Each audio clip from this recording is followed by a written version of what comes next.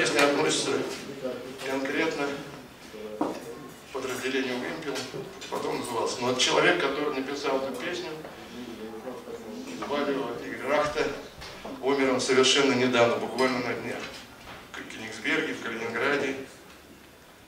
А песня была гимном с самого начала, гимн КУОСа, гимном «Вымпела» и остается до сих пор. Понимаете, что это подразделение как КУОС и как «Вымпел» первоначальном был везде. У нас на эмблеме стоял весь земной шар.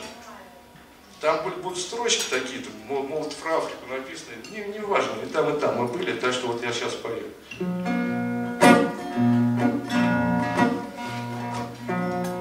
Бой затих у взорванного моста.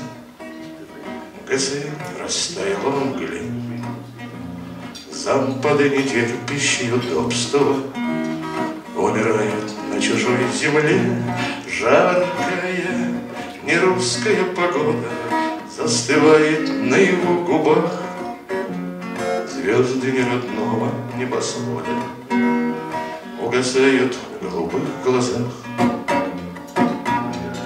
Умирает он, не веря в сказки, Сжав в руках разбитый пулемет, И к нему на бедренной повязке Вражеский наемник подойдет, подойдет, Посмотрит, удивится, Скинет пистолет, прищурит глаз, Скажет, много ел я бледнолицых, Русских буду кушать в первый раз.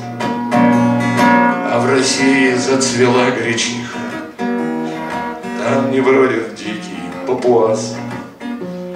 Есть в России город Балашиха, Есть там ресторанчик «Бычий глаз».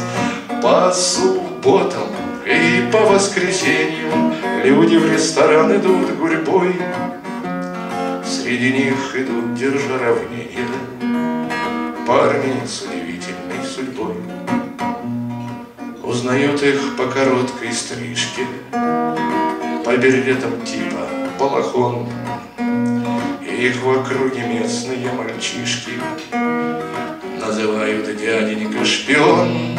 Если где-то гром далекий грянет, В неизвестность улетят они, Пусть им вечным памятником станет Проходная возле турни. Если где-то гром далекий грянет, В неизвестность улетят они. Пусть им вечным памятником станет Проходная возле Дорни.